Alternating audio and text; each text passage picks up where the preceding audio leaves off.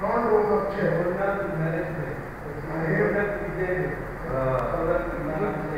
Good morning friends ધોરણ અગિયાર જીવ વિજ્ઞાન વિષયમાં આજે આપણે પ્રકરણ નંબર સાત એનો ભાગ ત્રણ જોઈશું. આજે આપણે સંયોજક પેશીનું જે બાકી બાકીનું એક ત્રીજો પ્રકાર હતો એ છે વિશિષ્ટ સંયોજક પેશી એની વાત કરીશું. લાસ્ટ લેક્ચરમાં લાસ્ટ લેક્ચરમાં આજ આપણે સંયોજક પેશીના બે પ્રકાર જોયા હતા. શિથિલ સંયોજક પેશી અને સઘન સંયોજક પેશી. આજે આપણે વિશિષ્ટ સંયોજક પેશી જોઈશું. વિશિષ્ટ સંયોજક પેશીના ત્રણ ભાગ છે, કાસ્થિ, અસ્થિ અને રુધિર. કાસ્થિની વાત કરીએ, તો કાસ્થિ છે એ ચોક્કસ પ્રકારના કોષો, કાસ્થિ કોષો જેને આપણે કોન્ડ્રોસાઇટ્સ પણ કહીએ છીએ, તો એ કાસ્તી કોષો અને તંતુઓ આ બે વસ્તુની બનેલી છે. કાસ્તી કોષો છે એ પોતે સ્વયં સ્ત્રવિત છે, એટલે કે પોતે સ્ત્રાવ કરે છે અને એ સ્ત્રાવ આધારકમાં પરિણમે છે. એ આધારક એ નાની ગુહાઓ જેવું બનાવે છે. આ દેખાય છે? આ આ પોતે સ્ત્રાવ કરેલું આધારક છે. અને એ આધારક નાની ગુહાઓ એટલે ખાલી જગ્યા બનાવે છે ને એની અંદર આ કોન્ડ્રોસાઇટ્સ આવેલા હોય છે. કાસ્થી કોષો આવેલા હોય છે. એ ગુહાઓમાં પોતે આવી રીતે બંધ હોય છે. અહીંયા આગળ આંતરકોષીય દ્રવ્ય ઓછું હોય છે અને એ બહુ કઠણ હોય છે. આંતરકોષીય દ્રવ્ય કઠણ અને સ્થિતિસ્થાપક હોય છે. સાથે સાથે દબાણ પ્રતિરોધી હોય છે. એટલે હાડકાં અને સ્નાયુઓની વચ્ચે આ કાસ્થી આવેલી હોય છે. પણ બહુ ઓછી સંખ્યામાં, બહુ ઓછી માત્રામાં કાસ્થી આવેલી હોય છે. ભ્રૂણની અંદર આ કાસ્થીઓ વધારે આવેલી હોય છે પૃષ્ઠવંશી ભ્રૂણમાં. પણ જ્યારે પુખ્ત પ્રાણી બને, ત્યારે કાસ્થીનું રૂપાંતર અસ્થિમાં થઈ જાય છે. બરાબર? ક્યાં આવેલી છે કાસ્તી? તો નાકનો ટોચનો ભાગ. પછી બાહ્ય કર્ણ જોડાણ. કર્ણનું જોડાણ. પછી કરે, કરોડ સ્તંભની જે કશેરુકાઓ છે, આ મણકા આપણે જે કહીએ છીએ, એની વચ્ચે અને હાથ અને પગની અંદર આવી કાસ્થી આવેલી હોય છે. તો આ હતી કાસ્થીની નાની અમથી સમજૂતી અહીંયા દેખાય છે આ બધા કોલેજન તંતુઓ આવેલા છે, વચ્ચે આધારક દ્રવ્ય અને આ છે કાસ્થી કોષો. ત્યારબાદ બીજા નંબરે આવે છે અસ્થિ. હવે અસ્થિની વાત કરીએ તો અસ્થિ એ એક ખનિજયુક્ત સંયોજક પેશી છે અને શરીરનું માળખું નક્કી કરતી આ એક મુખ્ય પેશી તરીકે આપણે એને કહી શકાય. આમાં પણ બે વસ્તુ આવેલી છે, અસ્થિ કોષો અને તંતુઓ અને આધારક દ્રવ્ય સોરી ત્રણ વસ્તુ. તો અસ્થિ કોષો જેને ઓસ્ટિયોસાઇટ્સ કહીએ છીએ એ આધારકયુક્ત અવકાશના વચ્ચેના જે કોષ સ્થાન છે એમાં આવેલા છે. અહીંયા આંતરકોષીય અવકાશ વધારે છે અને આંતરકોષીય દ્રવ્ય જે છે એ અસ્થિતિસ્થાપક છે. એટલે પહેલાંના જેવું નહીં, એટલું મજબૂત. આમાં અસ્થિતિસ્થાપક આધારક દ્રવ્ય છે જે કેલ્શિયમના ક્ષારો અને કોલેજન તંતુઓનું બનેલું છે. આ દેખાય છે આધારક દ્રવ્ય, એમાં કેલ્શિયમના ક્ષાર અને તંતુઓ. આ બે વસ્તુથી આધારક દ્રવ્ય બનેલું છે. જેથી આ કેલ્શિયમના ક્ષારો હોવાના કારણે અને કોલેજન તંતુઓ હોવાના કારણે તે અસ્થિઓને મજબૂતાઈ પૂરી પાડે છે. હવે એનું કાર્ય શું છે? તો આ જે છે શરીરની મુખ્ય પેશી તરીકે આપણે એને કહી શકાય, જે કોમળ અંગોની, બધા જ અંગોની આસપાસ આવેલી છે. અને એ કોમળ અંગોને એક પ્રકારનું રચનાત્મક માળખું પૂરું પાડે છે. બરાબર? અને પેશીઓને આધાર આપવાનું કાર્ય પણ કરે છે. જેમ કે અસ્થિ એટલે હાડકા, આપણે એમ કહી શકાય. કે તમે જુઓ કે બધી જગ્યાએ આખા શરીરનો આપણો આકાર છે, માળખું છે, એ હાડકાના કારણે છે. તો એ આખું રચનાત્મક માળખું જે શરીરનું છે, સ્કેલેટન આપણે જેને કહીએ, એ અસ્થિનું બનેલું છે. જેમ કે પગના લાંબા અસ્થિ છે, ભાર વહનનું કાર્ય કરે. બરાબર? બીજી બધી જેમ કે પાસડી છે આપણી, પાસળીઓ. એ હૃદય અને ફેફસા જેવા નાજુક અંગોનું રક્ષણ કરે, ખોપરી છે તો મગજનું રક્ષણ કરે છે. આ જે અસ્થિ છે, હાડકા છે, એની સાથે કંકાલ સ્નાયુઓ જોડાય છે અને હલનચલન શક્ય બનાવે છે. અને કેટલાક અસ્થિઓ છે જેમ કે આપણી બોન મેરો સોરી તો એની અંદર આવેલી અસ્થિ મજ્જા છે, એ રક્તકણો અને શ્વેતકણોનું ઉત્પાદન કરે છે. એટલે કે બધા જ રુધિર કોષોનું ઉત્પાદન ત્યાં થાય છે. તો અસ્થિની આટલી ઉપયોગિતા છે? કાસ્થિ બહુ ઓછું જોવા મળે છે, પણ અસ્થિ વધારે માત્રામાં પૃષ્ઠવંશી પ્રાણીઓમાં જોવા મળે છે. આપણે કાસ્થિ વચ્ચે ને અસ્થિ વચ્ચે જોયા હતા, યાદ કરો. બરાબર?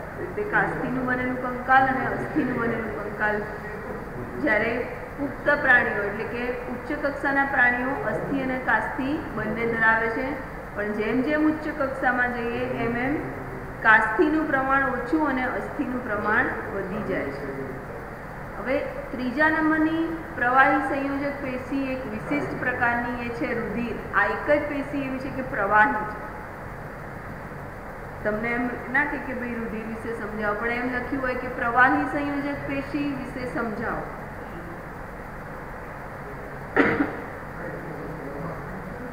તો રુધિર એ પ્રવાહી સંયોજક પેશી છે. રુધિર એટલે કે લોહી આપણે જે શરીરમાં ફરતું રહેતું હોય છે. બરાબર?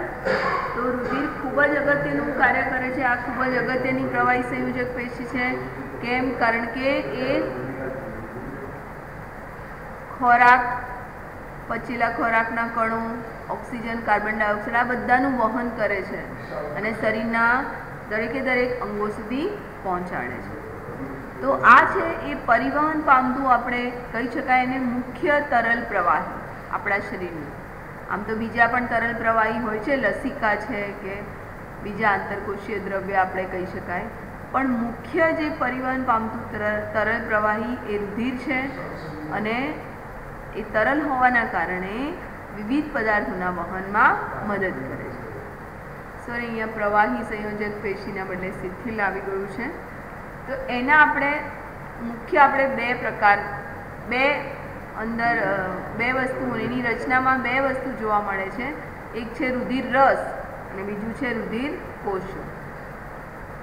રુધિર રસની વાત કરીએ, તો રુધિર રસ એટલે કે અંદરનો પાણી જેવો ભાગ, જે રંગવિહીન હોય છે. આપણે એમ કહીએ કે લોહી તો લાલ રંગનું હોય છે, રંગવિહીન ક્યાં હોય છે? પણ જે, ધારો કે તમે લોહી કોઈ લેબોરેટરીમાં બ્લડ ટેસ્ટ કરાવવા ગયા હોય અને તમારું લોહી નીકાળીને એક ટેસ્ટ ટ્યુબમાં મૂક્યું હોય, કાચની કસનળીમાં, તો તમે એને જો થોડીવાર પછી પાંચ મિનિટ રહીને માઉન્ટ કરશો ને, તો જે લોહી તરત ગંઠાઈ જશે. અને જે ગંઠાયેલો ભાગ છે ને એ નીચે બેસી જશે અને ઉપર એક પીળા રંગનું ક્લિયર આછા પીળા રંગનું કે રંગવિહીન એક ક્લિયર પ્રવાહી તમને જોવા મળશે. એ છૂટું પડી જાય લોહીમાંથી એ જે પ્રવાહી છે એને આપણે કહીશું રુધિર રસ. તો રુધિર રસ શેનું બનેલું છે? લગભગ એંસી ટકા પાણી હોય છે. અને બાકીનો ભાગ ઘણી બધી વસ્તુ આવેલી છે પ્રોટીન પોષક દ્રવ્યો, ક્ષાર વાયુઓ ઉત્સર્ગ દ્રવ્યો વગેરે, અંતસ્ત્રાવો વગેરે પદાર્થો એની અંદર આવેલા હોય છે. ફાઇબ્રિનોજન, થ્રોમ્બિન, થ્રોમ્બોપ્લાસ્ટિન આ બધા પ્રોટીન આવેલા છે. ગ્લોબ્યુલિન પ્રોટીન આ બધા પ્રોટીન આવેલા છે. યુરિયા અને યુરિક એસિડ જેવા ઉત્સર્ગ દ્રવ્યો આવેલા હોય. જે ઉત્સર્ગ દ્રવ્યો કોષો દ્વારા ઉત્પન્ન થાય એ આ રુધિરમાં ભળી જાય. અને એ રુધિર પછી કિડની એટલે કે મૂત્રપિંડમાં જ્યારે પ્યોરિફિકેશન માટે જાય એટલે એમાંથી ગળાઈ જાય આ બધા ઉત્સર્ગ દ્રવ્યો અને યુરિન માટે બહાર નીકળે. તો ઉત્સર્ગ દ્રવ્યોના નિકાલ માટે રુધિર રસ ખૂબ જ ઉપયોગી છે. સાથે સાથે કાર્બન ડાયોક્સાઇડનું વહન રુધિર રસ દ્વારા થાય છે. વાયુઓમાં કાર્બન ડાયોક્સાઇડ હોય. આપણે જે શ્વાસમાંથી બહાર નીકાળીએ છીએ, ઉચ્છ્વાસ માટે કાર્બન ડાયોક્સાઇડ બરાબર? ઓક્સિજનનું વહન છે એ રક્તકણ દ્વારા થાય અને કાર્બન ડાયોક્સાઇડનું વહન મોટાભાગનું એ રુધિર રસ દ્વારા થાય છે. બરાબર? તો કેટલાક ક્ષારો છે ઉપયોગી, સોડિયમ, પોટેશિયમ, આ બધા ક્ષારો પણ રુધિર રસમાં આવેલા હોય છે. જે કિડનીની અંદર આખું જે એનું શોષણની પ્રક્રિયામાં મદદરૂપ થાય છે. કાર્યોમાં આપણે જોયું, રુધિરરસ શેનું શેનું વહન કરે છે, એનું કાર્ય, કાર્બન ડાયોક્સાઇડ ઉત્સર્ગ આ બધાનું વહન કરે છે. સાથે સાથે અંદર રુધિર ગંઠાવવા માટેના કેટલાક ઘટકો પણ આવેલા હોય છે, થ્રોમ્બી થ્રોમ્બોપ્લાસ્ટિન વગેરે. તો આ રુધિર ગંઠાવવા માટે આપણે કેવું, લોહી બહાર આવે ને રુધિર ગંઠ, અને ત્યાં જામી જાય છે, ગઠ્ઠો થઈ જાય છે. નહીંતર શું થાય, એવું ના થાય તો લોહી વહ્યા જ કરે. કોઈ જગ્યાએ કાપો પડે તો લોહી વહ્યા જ કરે, વહ્યા જ કરે. પણ લોહીનો એ ગુણધર્મ છે કે જેવું બહાર આવે, ઓક્સિજન સાથે સંયોજાય અને એ પોતે ગંઠાઈ જાય છે. ચલો, તો રુધિર રસની વાત કરીએ. હવે રુધિર કોષો. રુધિરની અંદર ત્રણ પ્રકારના કોષો આવેલા હોય છે, રક્તકણ, શ્વેતકણ અને રાખણ રક્તકણો એ લાલ રંગના હોય છે, ચપટા અને દ્વિ અંતરગોળ હોય, એટલે આ રીતના અંતરગોળ સપાટી વચ્ચેથી ખાડાવાળા દ્વિ અંતરગોળ શેપ હોય છે. અને આ મોટી સંખ્યામાં જોવા મળે છે, લગભગ દોઢ લાખથી લઈને ત્રણ લાખ સુધીનો એનો એક એમએલની અંદર આટલા રક્તકણો આવેલા હોય છે. હવે એ રક્તકણો એકલા જ લાલ રંગના હોય છે લોહીમાં, બાકીના બધા લાલ રંગ ધરાવતા નથી. પણ રક્તકણોના કારણે લોહીનું રંગ લાલ હોય છે. હવે આપણે એ જોઈએ કે રક્તકણ કેમ લાલ રંગનો હોય છે? તો રક્તકણની અંદર એક સ્પેશિયલ પ્રકારનું પ્રોટીન, હિમોગ્લોબિન આવેલું હોય છે. બરાબર? એ હિમોગ્લોબિન પોતે લાલ રંગ ધરાવે છે, જેથી કરીને રક્તકણોનો લાલ રંગ આવે છે અને જેથી કરીને રક્તકણો લાલ રંગના હોવાથી લોહી લાલ રંગનું બને છે. આ જે હિમોગ્લોબિન છે, એનું કાર્ય શું છે? તો જ્યારે ફેફસામાં આવું લોહી જ્યારે પડતું પડતું ફેફસામાં જાય, ત્યારે ફેફસામાં જે આપણે શ્વાસ માટે ઓક્સિજન લઈએ છીએ, એ ઓક્સિજન આ હિમોગ્લોબિન સાથે સંયોજાઈ જાય અને ઓક્સી હિમોગ્લોબિન નામનું સંયોજન બનાવે. આવું ઓક્સી હિમોગ્લોબિનવાળું લોહી બધે ફરે અને જુદા જુદા ભાગો સુધી જાય અને કોષોને જ્યાં ઓક્સિજનની જરૂર છે ઓક્સિજનની જરૂર કોષોને કેમ છે ભાઈ? કારણ કે એને ગ્લુકોઝનું દહન કરવાનું છે. યાદ કરો, ગ્લુકોઝનું દહન ઓક્સિજનની હાજરીમાં થાય અને એમાંથી એટીપીના સ્વરૂપમાં શક્તિ છૂટી પડે અને કાર્બન ડાયોક્સાઇડ અને પાણી મુક્ત થાય.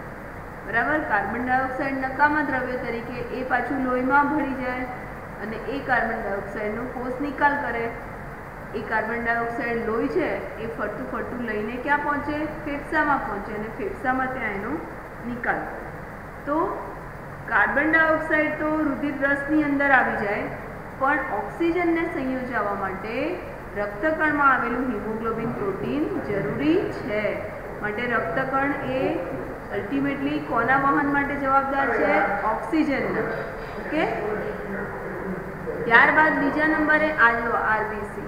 આરબીસી એટલે રેડ બ્લડ સેલ. એવી રીતે ડબ્લ્યુબીસી એટલે કે વ્હાઇટ બ્લડ સેલ. જે શ્વેત કણ આપણે એને કહીએ છીએ. રક્તકણની અંદર મોટા મોટા ભક્ષક કોષો આવેલા હોય. જે શું કરે? શરીરમાંથી જે અનવોન્ટેડ કોઈ બહારથી બેક્ટેરિયા કે જીવાણુથી વાયરસ પ્રવેશ પામે છે, તો એનું ભક્ષણ કરી જાય છે.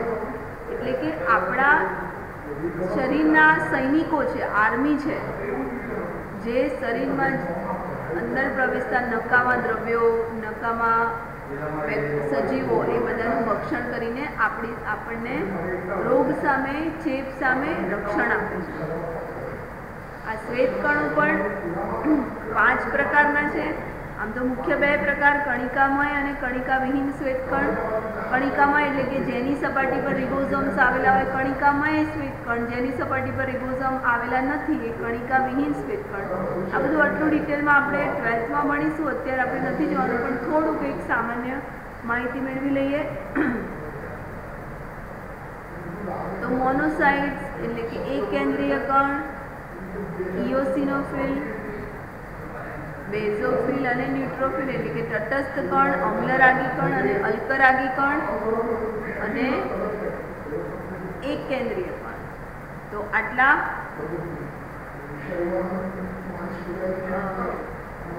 પ્રકાર છે શ્વેતકણના ત્રાક કણની વાત કરીએ. હા, એક બીજી એક ખાસિયત આપણે જોવાની વાત રહી ગઈ. કે રક્તકણો એ કોષ કેન્દ્ર વિહીન હોય છે. આપણા શરીરની અંદર એવા કયા કોષો છે જે કોષ કેન્દ્ર ધરાવતા નથી? તો એમાં શું આવે? રક્તકણ. કે એમસીક્યુમાં પૂછાય, નીટની અંદર પૂછાય. ચલો ત્રાક કણની વાત કરીએ, જેને આપણે પ્લેટલેટ્સ કહીએ છીએ. અત્યારે ડેન્ગ્યુ જ્યારે વચ્ચે બહુ ચાલે તો ત્યારે આપણે એમ કહેતા પ્લેટલેટ્સ ઘટી ગયા છે એને. તો એને લોહી ચડાવવું પડશે. એને પ્લેટલેટ્સ ચડાવવા પડશે, બરાબર? તો આ જે પ્લેટલેટ્સ છે, એ શું કરે છે આપણા શરીરમાં? રુધિર ગંઠાવા માટે જવાબદાર છે. તો રુધિર રસની અંદર આવેલા કેટલાક પ્રોટીન અને ત્રાક આ બંને ભેગા મળીને રુધિરને ગંઠાવાની ક્રિયાને ક્રિયા કરે છે. તો આ હતું રુધિર પ્રવાહી સંયોજક પેશી. અહીંયા જરા સુધારી લેજો. આ પ્રવાહી સંયોજક પેશી છે શિથિલ નહીં બરાબર? તો આજે આપણે અહીંયા સુધી રાખીશું. નેક્સ્ટ લેક્ચરમાં આપણે સ્નાયુ પેશીનો અભ્યાસ કરીશું. Thank you friends